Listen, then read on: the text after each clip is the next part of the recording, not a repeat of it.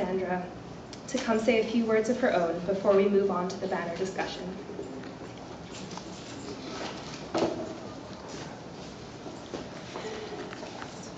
Hello, everybody. Um, I've already lost my place. Okay, hang on. Okay. Um, it is so fitting that this event is taking place in a library. James loved the library. He was a grade school dropout who educated himself through world travel and books. He read voraciously and he had many interests, including everything from art, music, history, and world religions to cooking, mysteries, and of course, humor. He loved stories, fact or fiction. He loved hearing them and he loved telling them. He painted pictures with his words and he told stories with his pictures. Everything had meaning for him.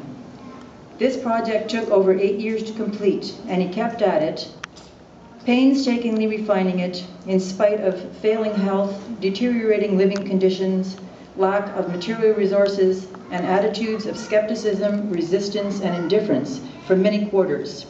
It took a lot out of him, and it gave a lot to him. It was his way of giving back to the community that was his home for over 20 years, the longest by far that he ever spent in one place. He truly appreciated the kindness of so many who, like him, did not look away from the suffering that goes on in the downtown east side and in places like it in our world. He even saw beauty and laughter here. In the midst of the most chaotic scenes, he would sweep his arm around and exclaim, you can't buy ambience like this. and uh, this is his way of helping us to see with new eyes what is difficult for some of us to look at. They say a picture is worth a thousand words. These pictures speak for themselves and for him, and they are a powerful invitation for us to share our own stories. On behalf of James, with my whole heart, I want to thank everyone who helped him to bring his vision to realization.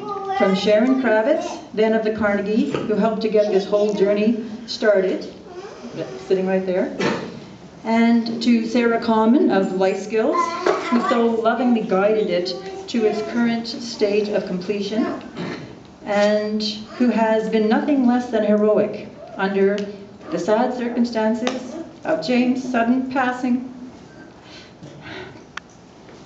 I watched the, I saw little dragon in, in Scooby-Doo.